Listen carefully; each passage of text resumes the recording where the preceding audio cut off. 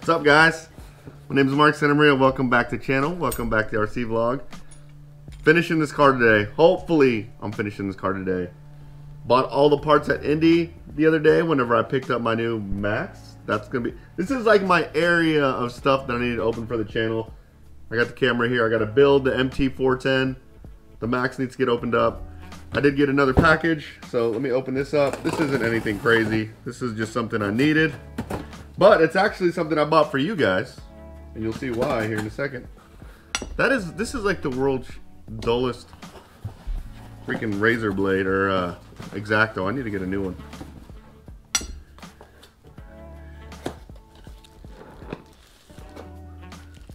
Another tripod for that camera.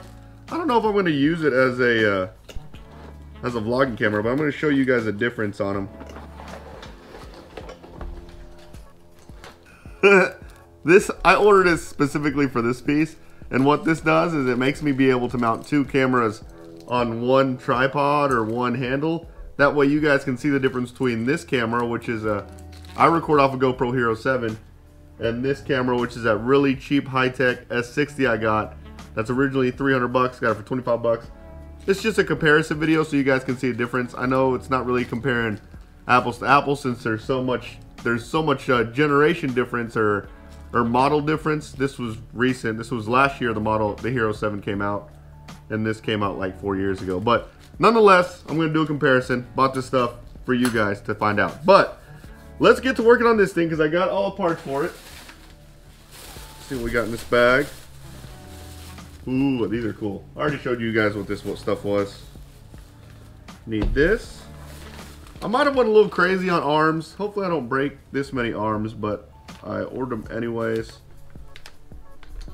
Got my side Nerf bars, the 4S battery for the Max, the receipt. Gotta save that. All right, I think this is everything. Wait, there's one more piece. This, the cover. Oh, there's another piece in here. I actually found out something interesting. This is the rear uh, rear diff gear for slash 4x4. If I looked at it correctly, the brush slash 4x4 has a different rear gear than the brushless 4 slash 4x4. And if I, when I read up on it, it looked, I think, and someone please correct me if I'm wrong. I'm actually probably going to call Traxxas and ask them what the story is on this. But I think the slash 4x4 brush, the one I opened on Christmas, uses the same rear diff ring, uh, diff ring, ring and pinion as the Stampede, but I could be wrong. Anyways, let's get to working on this thing.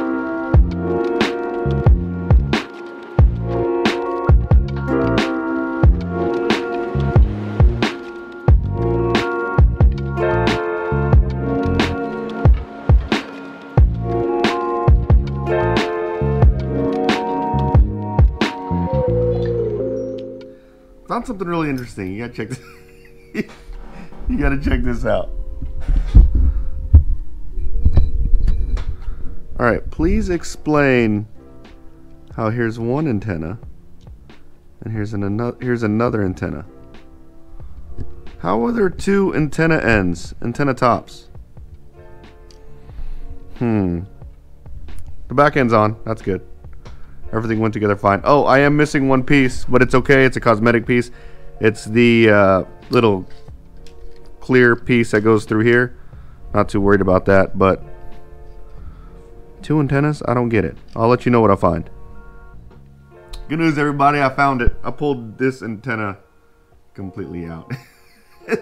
it's like he snapped the receiver, threw a new receiver in there, and then this is what we got. So we're almost done, guys. We are in the the the home run the home run stretch the la- the end the end stretch. I don't know what the saying is. Anyways let me finish.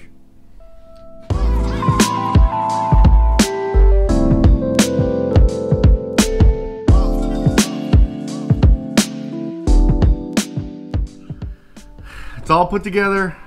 I cleaned up the wiring a little bit. The car's still a little bit dirty but we're gonna see if it runs first.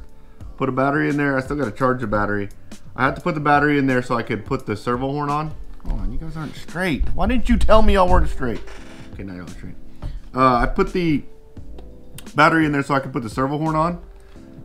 But everything look good, looks good so far. The only thing that I was missing was I was missing a wheel nut that had serrated, the serrated lock nuts.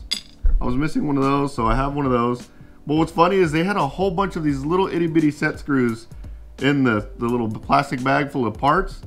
I think what happened is he lost some of this, maybe he lost one of those set screws and it ruined his day. So, so he went and loaded up on a whole bunch of them. But it's all fixed. It's ready to go. Nothing crazy. I don't see anything crazy going on here. Let's turn it on and see if see if she turns. I wasn't. If you were watching the uh, time lapse, you notice I took the rear end off twice. The spur gear looked like it was wobbling a little bit. I made sure that the the screws to push this this slipper clutch on were tight because sometimes if those aren't tight, it will it will cause it to wobble. I tightened it up and it did get rid of the wobble a little bit, but I'm, I'm pretty sure it's still gonna make some like gear noise. But here we go. Let's turn it on. Steering is good. I waited for you to hit the throttle, so y'all ready?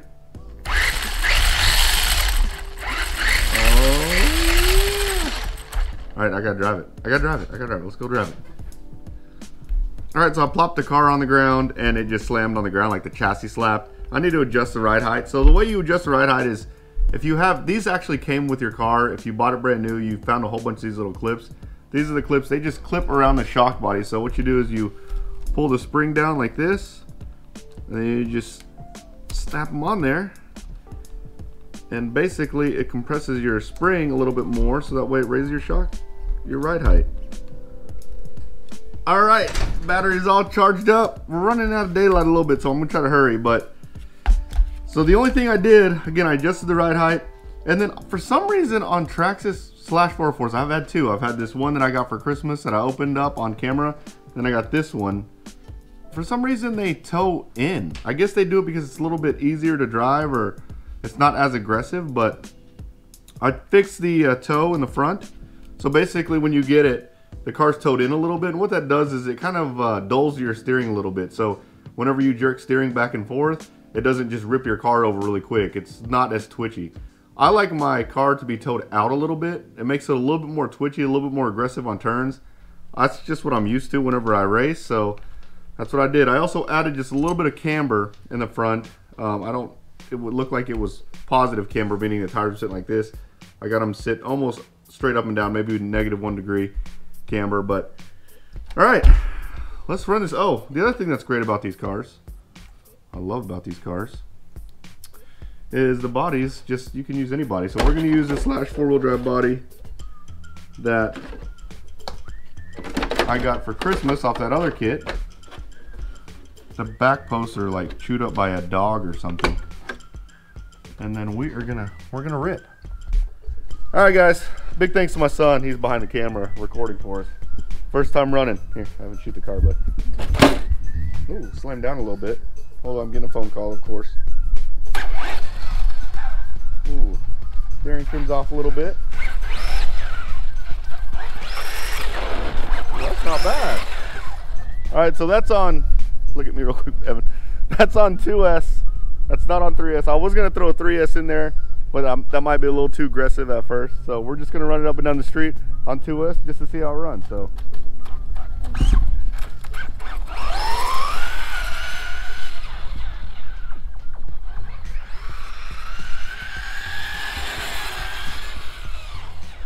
Woo! That guy. Did you see that? It came up on it came up on two wheels. I, it, this doesn't have TSM, but Luckily, I've got some some built-in TSM. Looks like the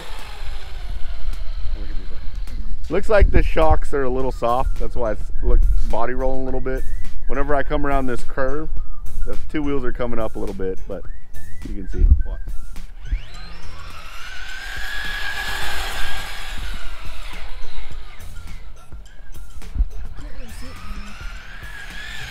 Ooh, you see that body sway? Well, here we go. Woo, see that? See how it kind of caught up on the side a little bit? That's either the steering servo, which the steering servo is pretty weak, and the servo horns on these things are really, really uh, light. So what happens is whenever it starts to steer a little bit, it kind of jerks the car over. See how I came up on two there? So, but overall, it runs pretty good. It's going to be a really forgiving car whenever we're just off-roading with it. It's got Proline Badlands on it. You can hear the drive shaft moving around a little bit, which is pretty typical on these things. But it runs runs freaking good. Well, there you have it, guys. That's a wrap. This car is done, man. I'm really excited. I'm going to let my son drive this whenever I go put my Max up together and running. So I'm going to get my Max running. I'm going to let my son ride this. I'm actually going to strap the camera on this thing also since the, the, the suspension's really soft. It should be really good on the movement and jittery. So if you like this video, guys, smash that like button, subscribe to my channel, turn on notification bell, and you guys will see me next time. Later, guys.